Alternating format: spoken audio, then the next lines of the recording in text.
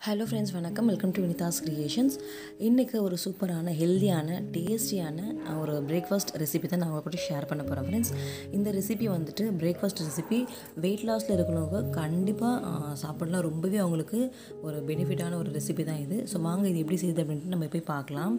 So நான் எடுத்துக்கிறது பார்த்தீங்கன்னா சோள மாவு. சோளமாவு மாவு கஞ்சி தான் எப்படி செய்யுது அப்படின்னு நான் உங்கள்கிட்ட ஷேர் பண்ண போகிறேன் ஃப்ரெண்ட்ஸ் இந்த ப்ராடக்ட் வந்துட்டு நான் பிக் பாஸ்கெட்டில் வாங்கியிருந்தேன்.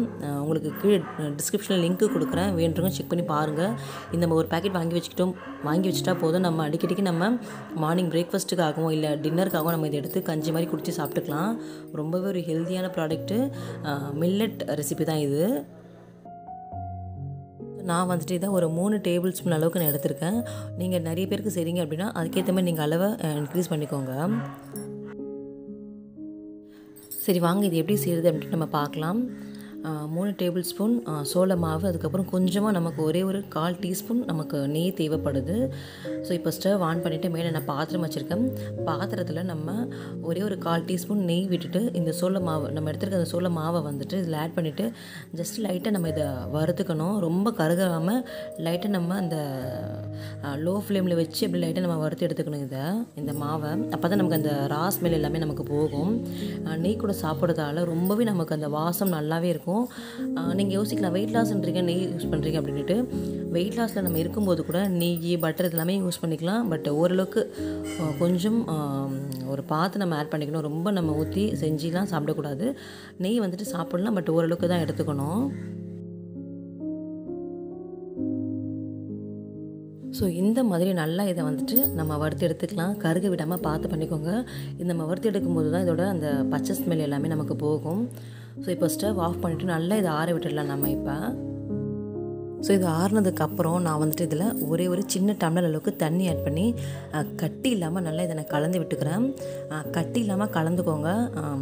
அப்போ தான் நம்ம ஸ்டவ்வில் வச்சு நல்லா நம்ம இதை திக் பண்ணும்போது நமக்கு அந்த கட்டிலாம் விழாமல் இருக்கும். இப்போ நம்ம தண்ணி ஊற்றிருக்கோம் இல்லையா? இதை வந்துட்டு அப்படியே நம்ம ஸ்டவ்வில் வச்சு நல்லா கலந்து விட்டுக்கோங்க. நமக்கு இந்த மாதிரி ஒரு பதத்தில் கிடைக்கும். இந்த மாதிரி பதத்தில் கிடைக்கும் போது மட்டும்தான் நமக்கு அது நல்லா வெந்திருக்கும். இல்லாட்டி ஒரு மாதிரி நமக்கு அந்த கோதுமை மாவு ஸ்மெல் வரும். அந்த ஸ்மெல் அப்படியே இருக்கும். நமக்கு அது சாப்பிட முடியாது. ஸோ இந்த மாதிரி நல்லா நம்ம இதை வேக விட்டுக்கணும். இப்போ நான் வந்துட்டு பால் எடுத்திருக்கேன். இந்த டம்ளர் நான் வந்துட்டு பால் எடுத்திருக்கேன் பாருங்கள் ஸோ ஒரு டம்ளர் பால் அதுக்கு ஈக்குவலாக அதே டம்ளர் நான் தண்ணியும் எடுத்துக்கிறேன். நம்ம வெயிட் லாஸில் இருக்கிறதால ஸோ தண்ணி வந்துட்டு கொஞ்சம் பால் நல்லா டைல்யூட் பண்ணி நம்ம தண்ணி ஆட் பண்ணிக்கலாம். நீங்கள் வந்துட்டு நார்மலாக இது குடிக்கிறீங்க அப்படின்னா நீங்கள் விரும்பினா பாலில் கூட திக் பாலில் கூட செஞ்சு சாப்பிடலாம். ரொம்ப டேஸ்ட்டாக இருக்கும். பட் நான் வந்துட்டு வெயிட் லாஸ்க்காக தான் இந்த ரெசிபி நான் சாப்பிட்றேன்றதால நான் நல்லா டைல்யூட் பண்ணி தண்ணி கூட டைல்யூட் பண்ணி நான் எடுத்துக்கிறேன். ஸோ நம்ம ரெடி பண்ணியிருக்க இந்த சோள கஞ்சி ப்ளஸ் அந்த பால் எல்லாமே நம்ம ஒன்றோட நல்லா மிக்ஸ் பண்ணிவிட்டு இந்த மாதிரி ஸ்டவ் ஆன் பண்ணிவிட்டு மேலே வச்சுக்கோங்க. நல்லா கைவிடாமல் கலக்கி விட்டுட்டே இருங்க. இது நல்லா நமக்கு பொங்கி ஒரு திக்கு கன்சிஸ்டன்சி நமக்கு கிடைக்கணும். ஸோ நான் வந்துட்டு இந்த மாதிரி இந்த மாதிரி தான் நான் குடிப்பேன். நல்லாயிருக்கும் டேஸ்ட்டு.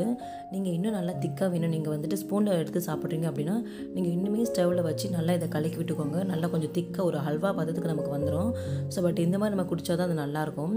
இப்போ ஸ்டவ் ஆஃப் பண்ணிட்டு நான் வந்துட்டு வேறு பாத்திரத்தை மாற்றிக்கிறேன் நான் வந்துட்டு ஒரு ரெண்டே ரெண்டு டீஸ்பூன் அளவுக்கு நான் சுகர் ப்ரௌன் சுகர் நாட்டு சர்க்கரை ஆட் பண்ணி நான் குடிக்க போகிறேன் நீங்கள் அப்படியே வெறுமனே குடிக்கலாம் அதுக்கப்புறம் உப்பு போட்டு குடிக்கலாம். எப்படி நீங்கள் உங்களுக்கு விருப்பமோ அந்த மாதிரி நீங்கள் டேஸ்ட்டுக்கு ஏற்ற மாதிரி நீங்கள் அட்ஜஸ்ட் பண்ணிக்கோங்க. ஸோ இது கூட வந்துட்டு நான் இன்னும் ஹெல்த்தியாக்கிறதுக்கு வந்துட்டு ஒரு அஞ்சு டேட்ஸ் ஆட் பண்ணிக்கிறேன். டேட்ஸு நாட்டு சக்கரை அதுக்கப்புறம் இது சேர்ந்து குடிக்கும்போது நல்லா நமக்கு அந்த பிரிஸ்காக இருக்கும். நமக்கு ஒரு டூ ஹார்ஸ்க்கு நல்லா ஃபில்லிங்காகவே இருக்கும் இந்த பிரேக்ஃபாஸ்ட் நம்ம சாப்பிடும்போது. அதுக்கப்புறம் நம்ம வயிற்றுக்குள்ள எதுவுமே போட மாட்டோம். வயிறு ஃபில்லிங்காக இருந்தால் நம்ம எதுவுமே தேவைப்படாது இல்லையா? ஸோ கண்டிப்பாக இதை ட்ரை பண்ணி பாருங்கள் ரொம்பவே நல்லாயிருக்கும் வெயிட் லாஸ்லாம் இருக்கிறவங்க அப்படின்னா நீங்கள் கன்ஃபியூஸில் இருப்பீங்க. என்ன பிரேக்ஃபாஸ்ட் எடுத்துக்கலாம் அப்படின்ட்டு. பிரேக்ஃபாஸ்ட் எடுத்துக்கணும். நல்லா ஹெல்த்தியாகவும் எடுத்துக்கணும். ஸோ அதுக்கு ஒரு சூப்பரான ரெசிபி தான் இந்த சோளமாவு சோள மாவு கஞ்சி. ஸோ நான் கஞ்சி ஆட் பண்ணிவிட்டேன் இது நல்லா மிக்ஸ் பண்ணிவிட்டு நான் உட்காந்து பொறுமையாக குடிக்க போகிறேன் ரொம்ப சூடாக குடிக்க தேவையில்லை. கொஞ்சம் ஆறட்டும். பட் நல்லா இந்த மாதிரி சூடாக இருக்கும்போதே நம்ம சர்க்கரையை கலந்துட்டோம் அப்படின்னா சர்க்கரை வந்துட்டு அந்த சூடில் நல்லா நமக்கு மிக்ஸ் ஆகிடும்.